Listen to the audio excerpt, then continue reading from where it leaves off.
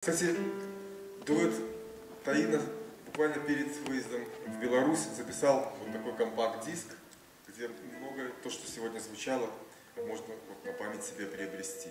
Много девчонки не смогли привезти, но тем не менее диск довольно интересный. Мне они уже подарили, подписали.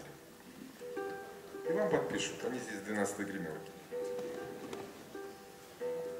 Вообще диск вот инструментальная музыка, еще древние финикийцы, я это уже, по-моему, говорил здесь, устраивали сеансы музыкальной терапии. Вот сегодня в зале много врачей, все они, я уверен, знают, что действительно музыка оказывает благотворное влияние на человеческий организм.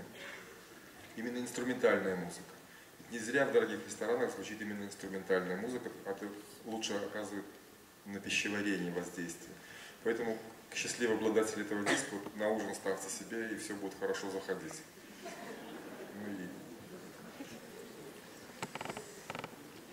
Так, ну мы продолжаем наш концерт. На сцене наш очаровательный, замечательный дуэт. Александр Стычук. Это, наверное, украинский композитор, да?